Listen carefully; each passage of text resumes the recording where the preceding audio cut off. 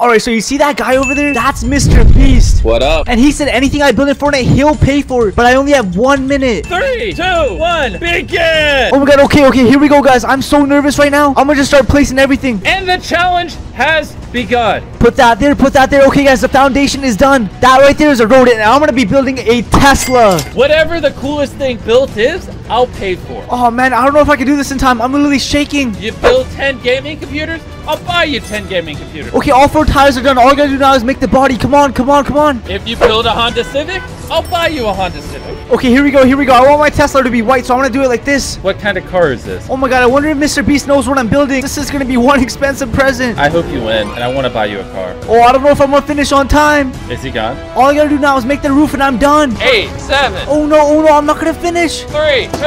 No, wait. One. Time's up, time's up. No. I lost, but Mr. B said if you subscribe right now, he'll still buy me a Tesla, so please do it.